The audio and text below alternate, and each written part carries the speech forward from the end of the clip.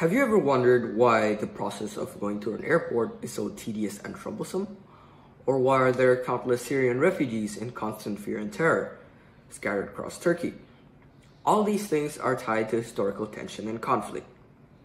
The origin of war dates back to when humans were still in hunter-gatherer society solely to acquire resources and territory. However, the main reason for modern war is difficult to identify as it may depend on several factors such as political unrest. Libya's civil war entered its seventh year this month with no end in sight.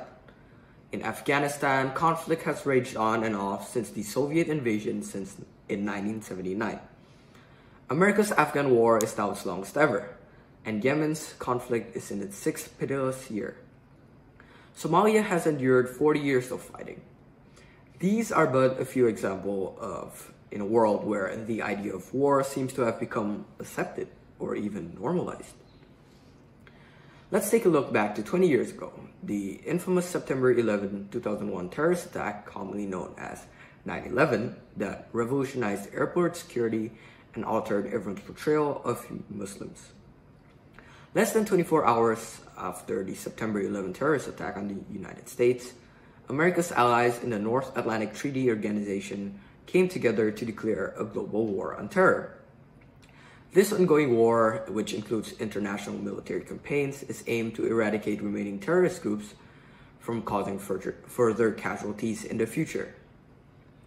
On October 7, 2001, the US invaded Afghanistan to finally put an end to Al Qaeda and remove the Taliban government from power.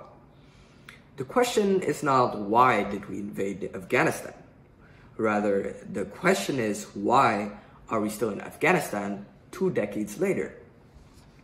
In addition, aside uh, from the US already spending over $1 trillion on the war, at least 100,000 Afghan civilians are estimated to have died since 2001. According to the UN, the Afghan forces and their US allies have caused more casualties than the Taliban itself in 2019. In fact, the war still continues up to present day with no conclusion yet agreed. More conflicts arise as Al-Qaeda's new leader pose more threat to terrorism, as well as ISIS terrorists now regu regularly launching attacks. Hopes of peace are fading. So did this war on terror solve the conflict of global terrorism? The obvious answer would be no, as terrorism is still a very relevant issue in our modern world. A good example would be one in our own country of Indonesia. On March 28, 2021, a cathedral bombing in Makassar left 20 injured.